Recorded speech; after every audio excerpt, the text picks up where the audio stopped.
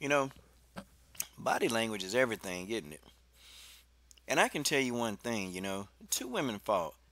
One woman thinks she won the fight, and the other one probably feels like she didn't win. And I bet you you guys can tell me who you think won the fight and who you think believes they won the fight. Stay tuned. The coach is going to break this fight down. Get what you think, cause this is my channel. Forget about your feelings, cause the truth is hard to handle.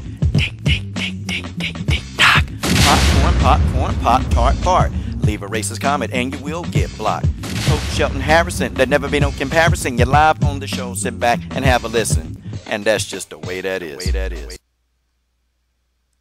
All right, all right. LDBC. This is your boy Coach Shelton Harrison. You're live, live, live on the Coach Shelton Harrison Combat Sports Show Live. Okay, Alaska Fighting Championships. That's right, Alaska. Alaska. Alaska has a fighting championship. Yeah, it's pretty cool. You know, I, I enjoyed this fight. Okay, you got you got um, Mara Tanares versus Holli Salazar. This was a good fight, man. It was a good fight, and I enjoyed every microsecond of the fight.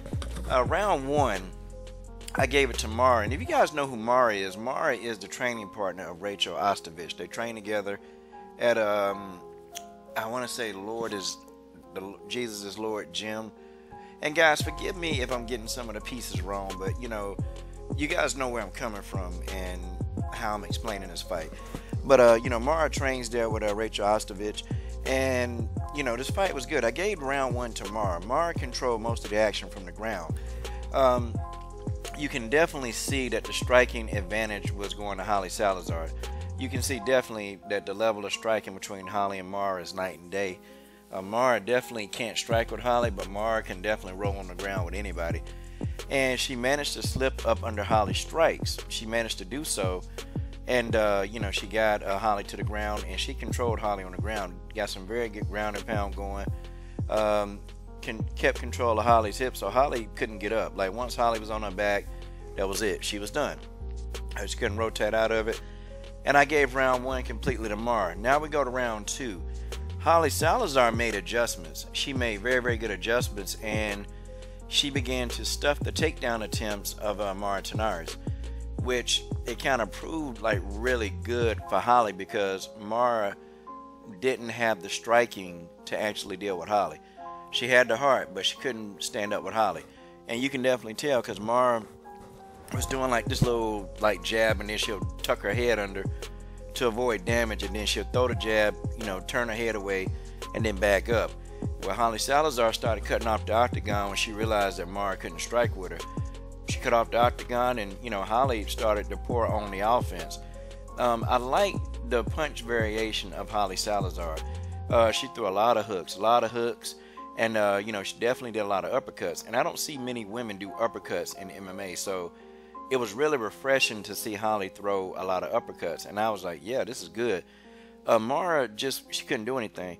So what Mara began to do now, Mara had very good head movement. I mean, she had great head movement, and she was avoiding a lot of the punches by Holli Salazar, but she just didn't have the offense standing to actually make Holli Salazar pay for some of those misses. And I think when Mara's you know, her stand-up game evolved, I think that she can actually capitalize on her defense. Her defense was pretty good. I was pretty pleased with Mara's defense overall. Um, it's just she didn't have any counter punching ability to come back. So I was kind of like, oh man, you know, this fight, you know, it can definitely be, you know, even better.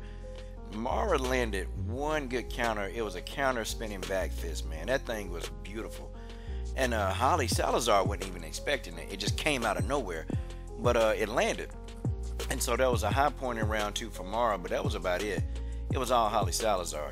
Um, Holli Salazar just, you know, started cutting off the octagon and just, I mean, she threw everything but the kitchen sink at uh, Mara Tanares. And, uh, you know, Mara started covering up. You know, the referee, he was already looking like he was about to stop this fight. And then uh, Mara bought herself some more time. She, uh, you know, grabbed on to Holli and she got a takedown and it was looking good. But then, you know, Holli Salazar reversed that takedown, and she basically had Mara's back, and she was just beating Mara in the back of, well, not in the back of the head, but on the side of the head. Then Mara was able to get back to her feet, you know, and then you know after that she backed up into a corner. Holli Salazar did, and basically that was it. She just started whooping on Mara's ass, and uh, you know Mara kind of you know tried to hold on. She had a heart, and um, it's just the ref had to stop it, man, because Mara could have got hurt. And I'm glad she didn't get seriously hurt. But you know after the fight was over, Mara was still on the ground. Part of that too. Part of this fight, Mara lost because of her stamina. Her stamina just it got the best of her. And when you rolling around like that on the ground, trying to make your opponent get into a position, it takes a lot out of you. And, and Mara's stamina definitely went down to zero. Her gas tank was empty, man. But it was a good fight. I saw a lot of good things from both of these fighters. Um, I think Holli definitely uh, definitely needs to work more on the ground. She was good. She was pretty good on the ground. But Amara was, you can definitely see that Amara was much, much better on the ground and Mara definitely needs to work her stand up. Uh, she's gonna have to have that in order to compete against some of these women that you know can stuff your takedowns.